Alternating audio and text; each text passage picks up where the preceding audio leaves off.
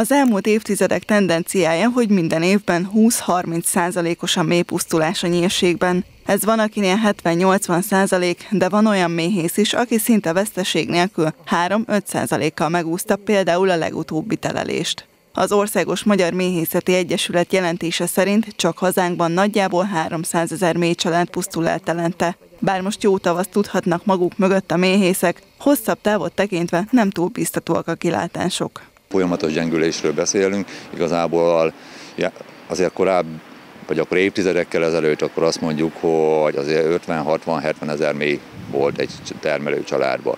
Most már azért csak mesterségesen tudjuk előállítani ezt a 40-60 ezer mély, hát ami gyűjtésre képes.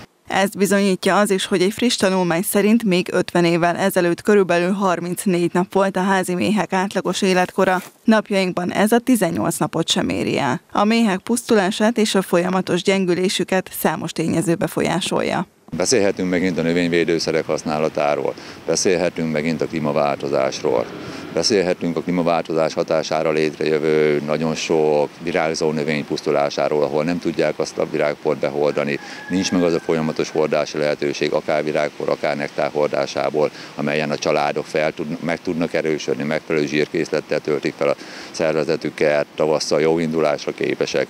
Igazából beszélhetünk az enyhetelekről, amikor mély családnak igazából térre lenne szüksége, ahol nyugalmi állapotban, kevés fogyasztással, nem fiasítva, áttelel, és tavasszal, amikor a virágpóhordás megindul, megindul a nektárhordás, megindul a tavasz, egy igazi tavasz a hőmérséklet emelkedésével onnantól folyamatosan tud fejlődni.